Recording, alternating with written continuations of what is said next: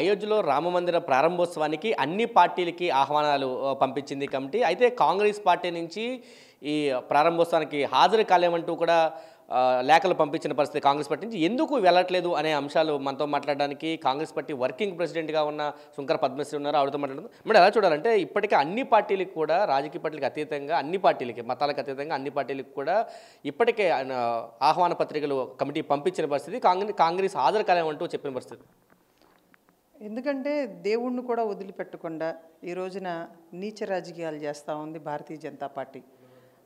BJP RSS రెండూ కలిపి హిందుత్వాన్ని అడ్డం పెట్టుకుని దళితులు మైనారిటీలను ఊచకోత కోసి ఈ రోజున భారతదేశంలో అభద్రతాభావంలో బ్రతుకుతూ ఉన్నారు. ప్రాణాలు గుప్పెట్లో పెట్టుకుని. వాళ్ళ కోసమే కదా రాహుల్ గాంధీ గారు భారత్ జోడో యాత్ర చేయడం జరిగింది.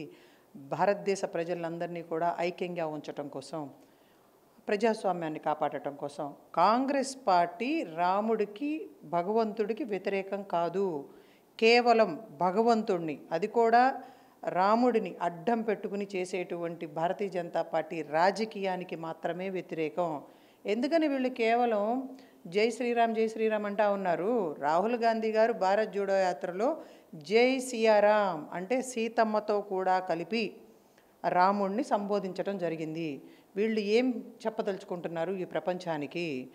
కానీ ఏదేమైనా కానీ వీళ్ళు అధికారంలోకి వచ్చినప్పటి నుంచి కూడా మిగిలిన కులాలని మతాలని అన్నిటినీ కూడా కుల మతాల మధ్య విద్వేషాలు రెచ్చగొట్టి ఒక స్వార్థ ప్రయోజనంతో హిందుత్వం అనే దాన్ని అడ్డం పెట్టుకుని వీళ్ళు రాజకీయం చేస్తూ ఉన్నారు.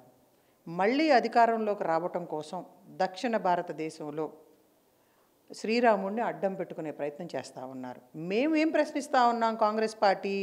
కేవలం శ్రీరామ మందిరం గురించి ఎందుకు మాట్లాడుతూ ఉన్నారు మీరు? పెరిగిన ధరల గురించి మాట్లాడండి. పెట్రోల్ డీజిల్ గ్యాసు నిత్యావసర ధరల గురించి మాట్లాడండి. మీ ప్రభుత్వంలో జరిగినటువంటి అవినీతి గురించి మాట్లాడండి. మీ వల్ల ఈ రోజున ఇబ్బందులు పడుతున్నటువంటి దళితులు మైనారిటీలు మహిళల గురించి మాట్లాడటండి. ఈ రోజున మొత్తం యావత్ భారతదేశంలో ఉన్నటువంటి ప్రభుత్వ రంగ సంస్థలన్నిటినీ కూడా ప్రైవేటు కంపెనీలకి అమ్మేస్తూ ఉన్నారు. దాని గురించి మాట్లాడుతూ ఉండి మాట్లాడండి. రైతులు చట్టాలను తీసుకువచ్చి ఏడు వందల యాభై మంది రైతులు చనిపోతే దాని గురించి మాట్లాడండి. ఆంధ్రప్రదేశ్లో ప్రత్యేక హోదా విభజన హామీలు అమలు చేస్తామని చెప్పి అధికారంలోకి వచ్చి ఇప్పటివరకు అమలు చేయకుండా నమ్మక ద్రోహం చేసినటువంటి విషయం గురించి మాట్లాడండి. పోలవరం గురించి మాట్లాడండి. వైజాగ్ స్టీల్ ప్లాంటు మేము అమ్మకుండా దాన్ని కట్టడి చేస్తాము అని మాట్లాడండి. అమరావతి రాజధానిని పూర్తి స్థాయిలో అభివృద్ధి చేస్తామని మాట్లాడండి. యువతకు మీరు సంవత్సరానికి రెండు కోట్ల ఉద్యోగాలు ఇస్తా అన్నారు. దాని గురించి మాట్లాడండి. ఈ రోజున భరతమాత ఊపిరి పీల్చుకోలేనటువంటి దౌర్భాగ్యమైనటువంటి పరిస్థితుల్లో ఉంది మీ ప్రభుత్వం వల్ల. ఈ రోజున ఆనాడు అనేక మంది మహనీయులు ప్రాణత్యాగాలు చేసి తీసుకొచ్చినటువంటి స్వేచ్ఛా స్వాతంత్రాలు కరువైపోయినాయి అని చెప్పి దేశ ప్రజలందరూ కూడా ఇబ్బందులు పడతా ఉన్నారు. అందుకే మీ ద్వారా ఈ దేశ ప్రజల్ని కోరేది ఒక్కటే భరతమాత ఊపిరి పీల్చుకోవాలి అంటే మనకు స్వేచ్ఛా స్వాతంత్రాలు ఉండాలి అంటే మోడీని గద్దె తెంపాలి. అవకాశం మనకు రాబోతా ఉంది. ఓటు ద్వారా ఈ అవకాశాన్ని వినియోగించుకొని మీరు మోడీ బీజేపీకి వ్యతిరేకంగా కాంగ్రెస్ పార్టీ ఇండియా కూటమిని ఫామ్ చేసిన పరిస్థితి పూర్తి పూర్తిగా వచ్చే ఎన్నికల్లో అన్ని పార్టీలని ఒకే వేదిక మీద తీసుకొచ్చే ఏర్పాటు చేశారు. అయితే రామ జన్మభూమికి సంబంధించి అయోధ్యలో రామ మందిర నిర్మాణానికి సంబంధించి ఓన్లీ కాంగ్రెస్ అయినా ఇతర పార్టీలు కూడా వెళ్ళమని ఇప్పటికేమైనా చెప్పారు? ఎందుకంటే సిపిఎం ఆల్రెడీ చెప్పింది నెక్స్ట్ మీరు కూడా చెప్పిన పరిస్థితి. మిగతా పార్టీ పరిస్థితి ఏంటి? మాకు అవగాహన ఉన్నంత వరకు కూడా ఇండియా కూటమిలో ఉన్నటువంటి చాలా వరకు పార్టీలు మేము మేము చెప్తున్నాం కదా రాముడికి వ్యతిరేకం కాదు. రాముడిని అడ్డం పెట్టుకుని చేస్తున్నటువంటి నీచ రాజకీయానికి వ్యతిరేకం. అందుకనే కాంగ్రెస్ ఈ రోజున నేను హిందువుని నిత్యం పూజ చేస్తాను హిందువులాగా అలంకరించుకుంటాను. కానీ నేనే చెప్తా ఉన్నాను కదా దానివల్ల మనకేం మాత్రం ఉపయోగం లేదు. భారతదేశానికి కావాల్సినటువంటిది అభివృద్ధి. మా రాష్ట్ర ప్రజలకు కావాల్సినటువంటి శాంతి భద్రతలు యువతకు కావాల్సినటువంటివి ఉద్యోగ అవకాశాలు. మరి ఇటువంటి వాటన్నిటి మీద కూడా మీరు దృష్టి పెట్టండి అని చెప్పి కోరుతా ఉన్నాం.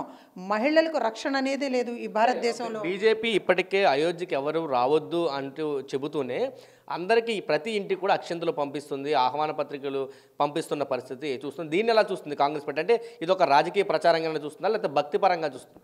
ఎస్ హండ్రెడ్ పర్సెంట్ ఇది కేవలం రాజకీయ ప్రచారం మాత్రమే. మరొక విషయం చాలా స్పష్టం చేయదలుచుకున్నాను నిజంగా గనక వీళ్ళు రాముడి కోసమే హిందువుల మనోభావాలను కాపాడటం కోసమే ఇది చేస్తూ ఉంటే మరి పీఠాధిపతులు ఎందుకు వ్యతిరేకిస్తూ ఉన్నారు?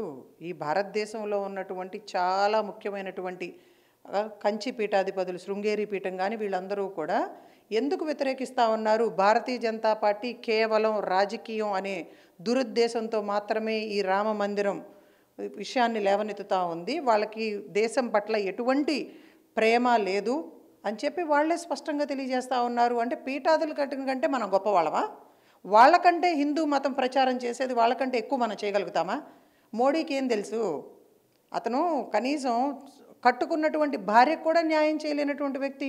ఈ రోజున రాముణ్ణి తాకుతాను అంటే పీఠాధిపతులు అతనికి అర్హత లేదు అని చాలా స్పష్టంగా చెప్తా ఉన్నారు. ఆ ప్రతిష్ట చేయటానికి దేశ ప్రధానికి అర్హత లేదు. మన నిజంగా చెప్పాలి అంటే మన హిందూ సాంప్రదాయం ప్రకారం భార్యాభర్తలు ఇద్దరూ కలిసి ప్రతిష్టలు చేయాలి. ఎటువంటి ప్రతిష్ట అయినా సరే ఇతనికి ఏం అర్హత ఉంది? దానికి సమాధానం చెప్పమనండి ముందు భారతీయ జనతా పార్టీ నాయకుల్ని.